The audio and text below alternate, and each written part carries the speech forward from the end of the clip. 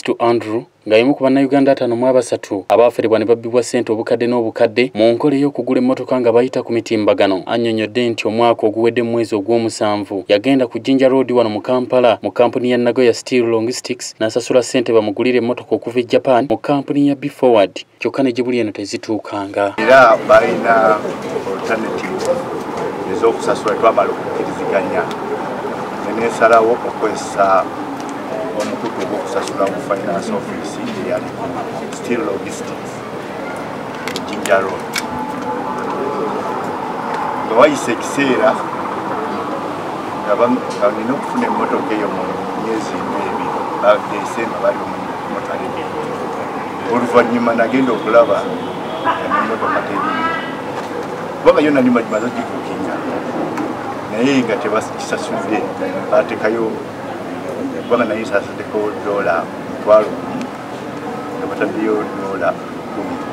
Kisitu annyonnyodde nti mu kusooka yalaba ng'abantu bawadde ssente okumuleetera emmotoka baali babuvunaanyizibwa wabula bwe yamala okubawa ssente baakyuka ne batandika okumubuzaabuza. Okutuuka ye ne banna ataano mu ababiri bwe beekubira enduulu mu b'obuyinza olwo kampuni ya bforward e japan n'etandika okulondoola ensonga zaabwe.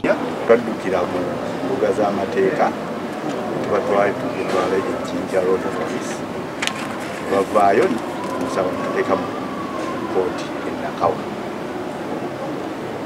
naye webaali tukola ekyo twalina omukisa kubanga twali tumaze okwekumaakuma nga ekintu kigaziye nnyo tugamba tukola ne tuddukira mu midiya midiya nayewulire nga tulina ebintu bisatu byetugoberera kisooka okulaba sente zaffe zisobola okukomawo oba kyetwabadde twagala bakituwa ekyokusatu okubeera nti ne bannayuganda abalala tebafuna buzibu bwe twayitamu.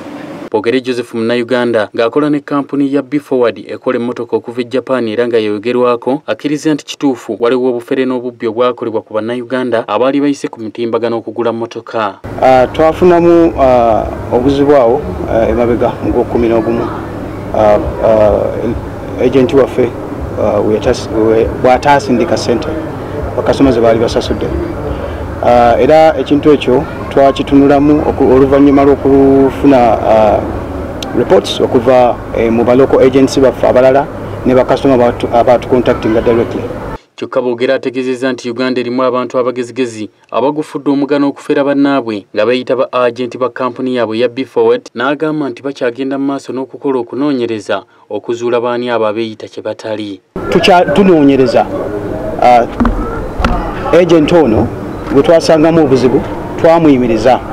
Era essaawa zino offisi nzigale. Omuntu yenna akutuukirira nga gamba nkozesa steel logistics oba ndi munagoya tukwegayiridde tukolagana naye. Woba okolaganye naye um, ejja kuba rescue